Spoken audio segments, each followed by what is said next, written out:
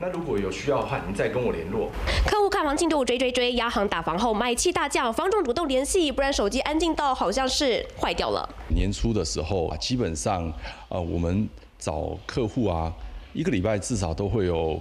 八到十组，现代令跟央行打房的关系，我们可能一个礼拜已经下降到一到两组，也许更少。房市跟天气一样冷，代表北台湾新岸市场概况的助展风向球分数连三降，不只是三月以来最差表现，更惨的是追踪十月指标建案平均成交组数，每周竟然只有一组，与上半年每周至少四到五组成交相比差很大，惨况直逼二零二一年疫情三级警戒。对于很多的业者来说的话，可能会思考所谓转换跑道的可能性。如果说是以现阶段的市况而言，若是买气没有办法。明显打开的话，时间一拖到半年、一年，那可能在整体的不动产导电潮会非常非常的严重。